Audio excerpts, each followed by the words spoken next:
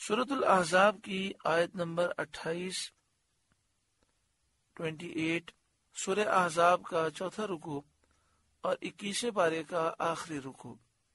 अल्लाह रब्बुल ने इरशाद फरमाया, या अय्युहन नबीयु, ए गैब बताने वाले नबी कुल्ली अजवाजी का अपनी बीवियों से फरमा दीजिए, इन कुन तुन्ना रिदनल हयात दुनिया वजीनतः अगर तुम दुनिया की ज़िंदगी और इसकी आरइश चाहती हो फतआलैना उमत्तियकुन्ना तो आओ मैं तुम्हें माल दूँ व उसर्रिह कुन्ना सराहन जमीला और अच्छी तरह छोड़ दूँ यानी अगर तुम्हें माल कसीर और असबाब ऐश आराम दरकार हैं।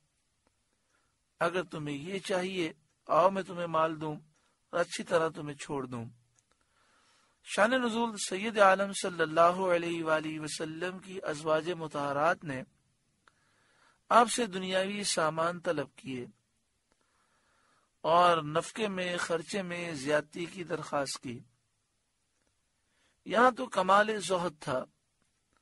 सामान दुनिया और इसका जमा करना गवारा ही न था। इसलिए ये दिले मुबारक पर गिरा हुआ और ये आयत नाजिल हुई और अजवाज मतहरात को तखीर दी गई, इख्तियार दिया गया। यहाँ पर यह वजाहत ज़रूरी है कि नबी अकरम सल्लल्लाहु अलैहि वसल्लम को अल्लाह ताला ने बेहिसाब खजाने अता फरमाए। खुदा फरमाते हैं कि अगर मैं चाहूँ तो ये पहाड़ सोने का बनकर मेरे साथ चले। लेकिन नबी अकरम सल्लल्लाहु ने सामान्य दुनिया को जमा न फरमाया। मदीने शरीफ में, मस्जिद नबवी शरीफ में सोने और चांदी के ढेर लग जाते। लेकिन आप सारा माल मुसलमानों में तकसीम फरमा देते और खुद आप भूखे रहते। अजवाज मुतारात का ये मुतालबा यूँ आम हालात के एतबार से देखा जाए तो एक बीवी का यह हक है कि वो शोहर से अपनी जरूरियात का मुतालबा करे। तो शरय एतबार से अगर यूँ आम हालात में देखा जाए तो ये तो कोई हरज वाली बात नहीं। लेकिन यहाँ पर यह हुआ कि जब उन्होंने ये बात कही तो नबी अकरम सल्लल्लाहु अलैहि वसल्लम को नागवार गुजरा। और नबी अकरम सल्लल्लाहु अलैहि वसल्लम अल्लाह के महबूब हैं और उनके दरबार के मामलात बड़े नाजुक हैं। तो इसलिए आयत गरीबा नाजिल हुई। उस वक्त नबी करीम सल्लल्लाहु अलैहि वसल्लम की नौ अजवाज थी।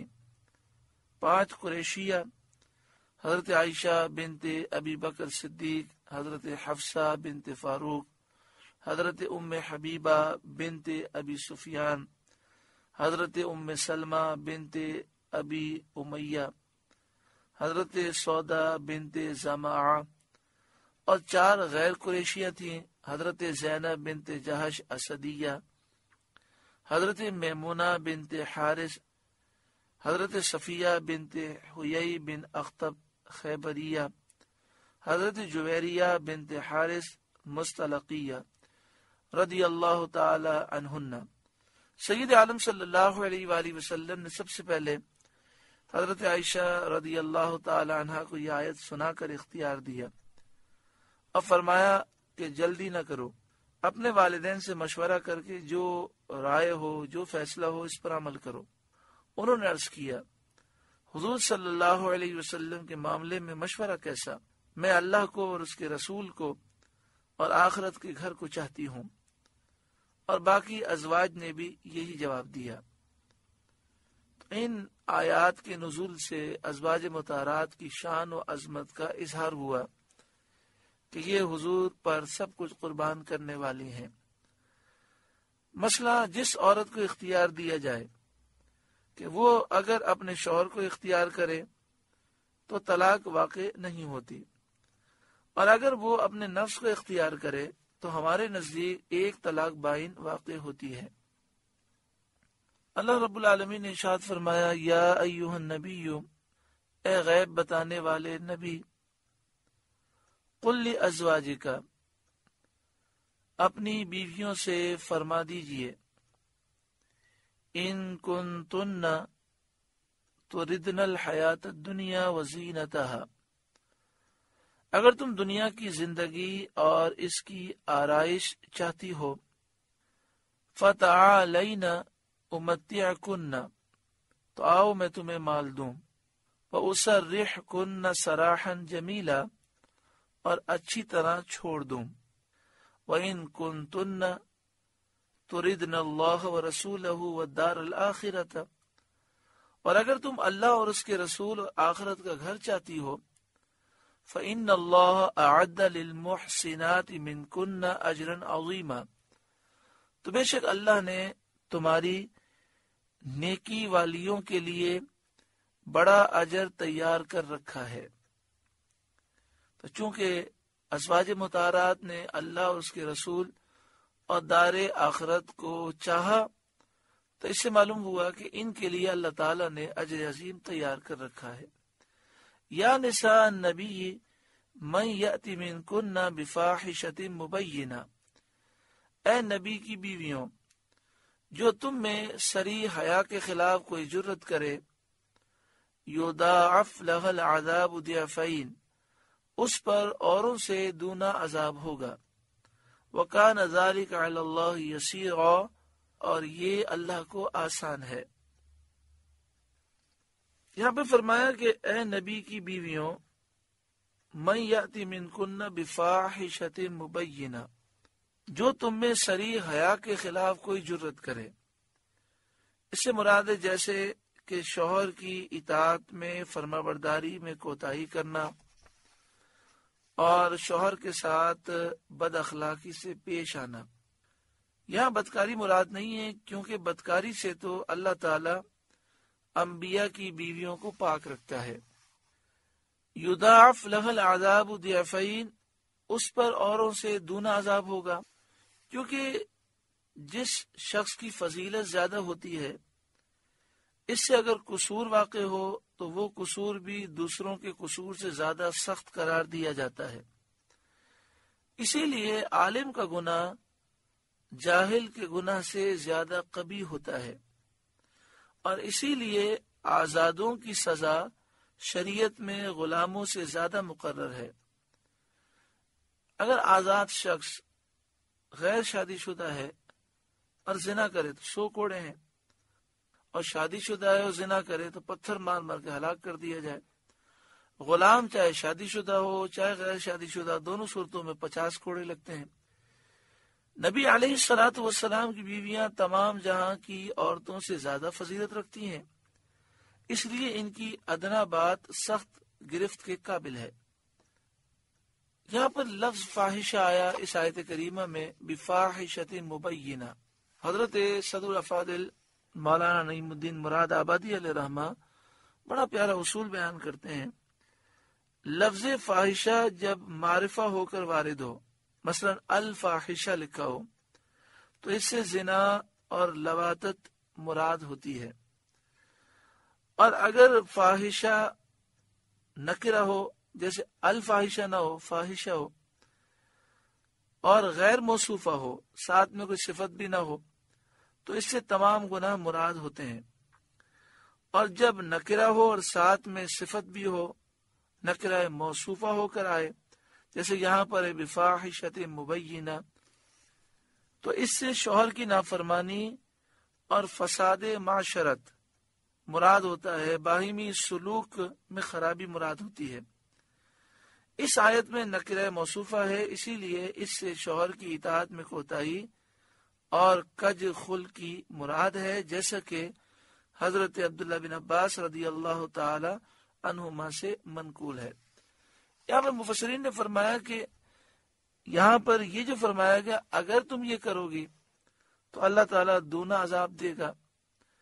असवाज मुतारात में से किसी ने ऐसा किया नहीं तो इसको समझाने के लिए यूँ समझे बाद मुफसरीन फरमाते हैं जैसे कुरान पाक में है कि अल्लाह तबारक व ताली फरमाता है, महबूब आप फरमाइए, अगर रब का बेटा हो तो सबसे पहले मैं पूजा करूँगा। तो रब के लिए बेटा होना नामुमकिन है। तो ये भी नामुमकिन है कि अल्लाह के सिवा किसी की पूजा की जाए। तो यहाँ भी यही मुराद है कि अजवाज मुतारात को अल्लाह ताला ने वो शर्फ अता फरमाया कि उन्होंने नबी अकरम सल्लल्लाहु अलैहि वसल्लम की नाफरमानी न की, बल्कि फरमाबरदारी की और अल्लाह ने उन्हें अजर अजीम अता फरमाया। वकान जालिक यसीर और ये अल्लाह को आसान है। इक्कीसवा पारा मुकम्मल हुआ। अल्लाह रब्बुल आलमीन इसके नूर से हमारे कुलूब को रोशन मुनवर फरमाए। यकनुत मिन कुन्न लिल्लाहि व रसूलिही और जो तुम में फर्माबरदार रहे अल्लाह और रसूल की, यानी ए नबी सल्लल्लाहु अलैहि वसल्लम की अजवाज, जो तुम में फरमावरदार रहे अल्लाह और रसूल की, व तामल सालहन, और अच्छा काम करे, नुतिहा अजरहा मर्रतईन हम उसे औरों से दूना सवाब देंगे।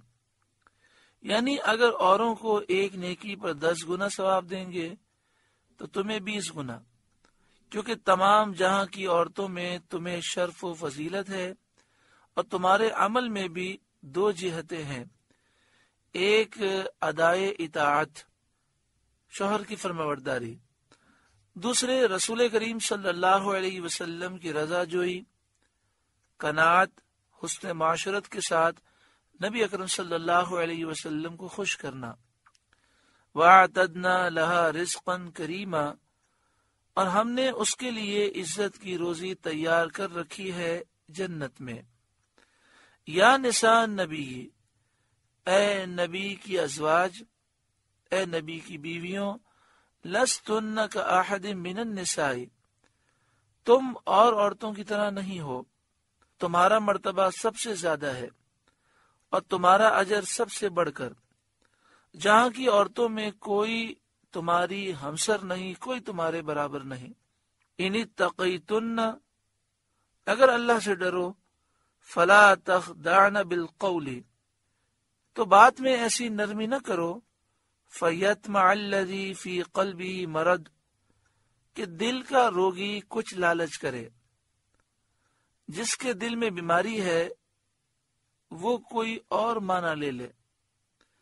इसमें आदाब की तालीम है कि अगर ज़रूरत की वजह से गैर मर्द से, पर्दे के पीछे से गुफ्तगु करनी पड़े तो कसद करो, इरादा करो कि लहजे में नजाकत नरमी न आने पाए। और बात में लोच न हो।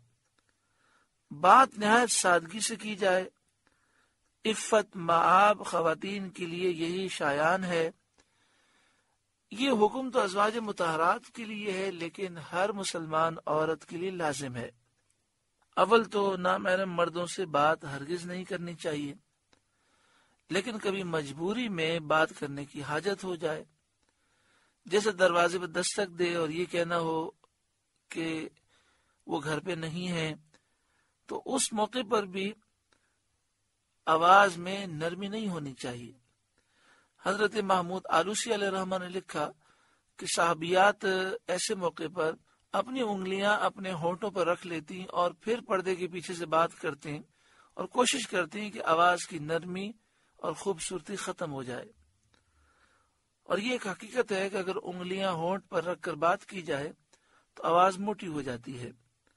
वह कुल न कौल मारूफा हाँ अच्छी बात कहो। दीन और इस्लाम की बात कहो, नेकी की तालीम दो पंदो नसीहत की अगर ज़रूरत पेश आए तो कहो। मगर बेलोच लहजे से नरम और बारीक लहजा नहीं होना चाहिए। वो कर्नफी बुयूती कुन्ना और अपने घरों में ठहरी रहो। औरत को चाहिए कि वो घर से बिला ज़रूरत बाहर न निकले। वला तबर रजना तबर रुजल जाहिलियतिल ऊला।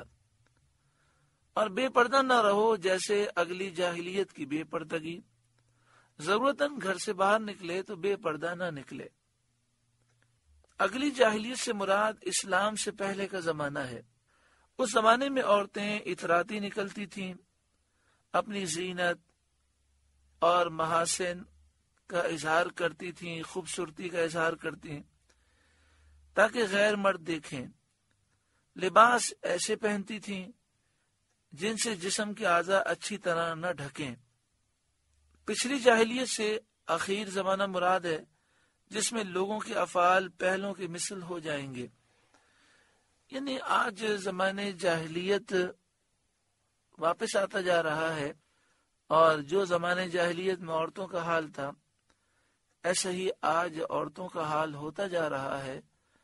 मुसलमान औरत बेपर्दा निकले। नऊजुबिल्लाजालिक कितनी बुरी बात है। और जब अजवाज मुतारात पर पर्दा लाजिम है, उनके दिल पाक साहब कराम पर पर्दा लाजिम है, उन्हें निगाहों की हिफाजत का हुक्म दिया गया। उन्हें अजवाज मुतारात को देखने से मना किया गया। तो उनके दिल भी पाक, अजवाज मुतारात के दिल भी पाक। तो आज के दौर में पर्दा कितना ज़रूरी है। वह अकीम नसलाता और नमाज़ कायम रखो, व आती न जक़ाता, और जक़ात दो। व अती अल्लाह व रसूला, और अल्लाह और उसके रसूल का हुक्म मानो। इन नमा युरीदुल्लाहबैत अल्लाह तो यही चाहता है, ए नबी के घर वालों कि तुमसे हर नापाकी दूर फरमा दे। वह युतरकुम ततहीरा, और तुम्हें पाक करके खूब सुथरा कर दे। यानी गुनाहों की नजासत से तुम आलूदा न हो। इस आयत से अहल बैत की फजीलत साबित होती है। और अहल बैत में नबी करीम वसल्लम के अजवाज मुतारात, और हज़रत खातून जन्नत फातमत जहरा, हज़रत अली मुर्तदा हज़रत इमाम हसन, इमाम हुसैन सब दाखिल हैं।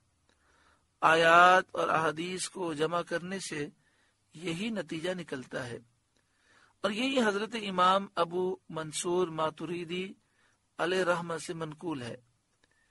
इन आयात में अहले बैत को नसीहत फरमाई गई है, ताकि वो गुनाहों से बचें और तकवा और परहेजगारी के पाबंद रहें। गुनाहों को नापाकी से और परहेजगारी को पाकी से इश्तिहारा फरमाया गया, ताबीर किया गया। क्योंकि गुनाहों का मुर्तकब इनसे ऐसा ही गंदा होता है जैसा जिसम नजाशतों से गंदा होता है। इस तर्ज कलाम से मकसूद ये है कि अरबाब उकूल को, अक्लमंदों को गुनाहों से नफरत दिलाई जाए और तकवा और परहेजगारी की तरगीब दी जाए।